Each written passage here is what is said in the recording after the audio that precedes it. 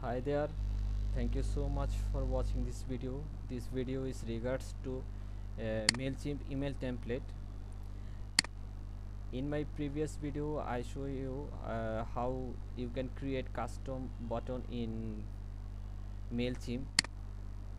So here is one of my friend danny. He wants to know how to create this button in the uh, email template in MailChimp so uh, this video is for uh, Danny. I hope he is watching this video.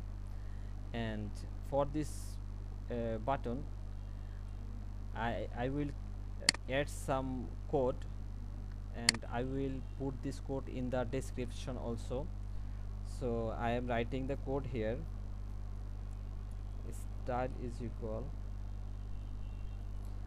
I want background. Background color black.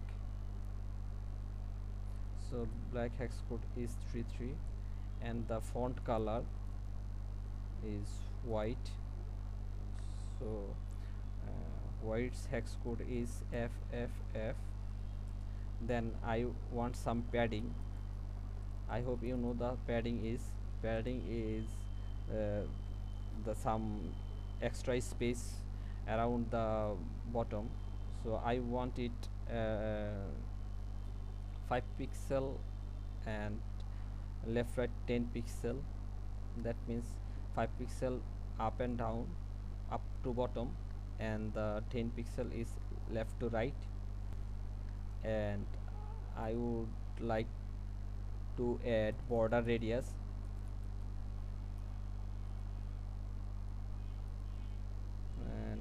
I would like to border radius 5 pixel.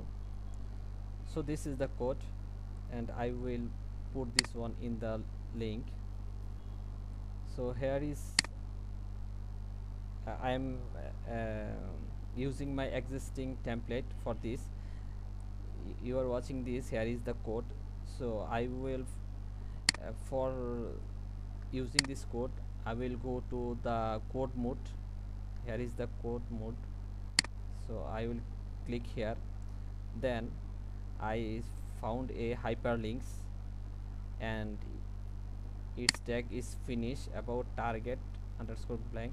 And after this I just uh, copy all of the code uh, and paste it here. And I found that the here is create a button but the radius is not working. I will put it here 5 pixel radius border radius.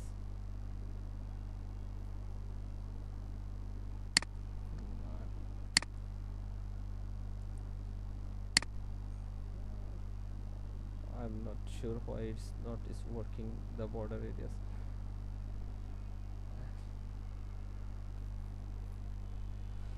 so here is uh, I put the border radius 5 pixel. If I put it more like 10 pixel so it will be more round shape.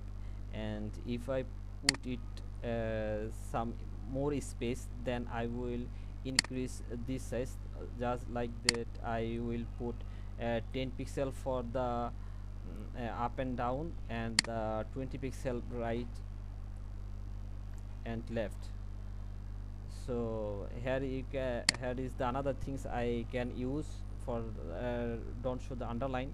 So it will be text decoration none. If you use this code it will not show the underline in the text. So that is the code. I will put this code in the comments box on that or in the description thank you so much for watching video. I hope uh, you will be happy after watching this video. And thank you so much for for your time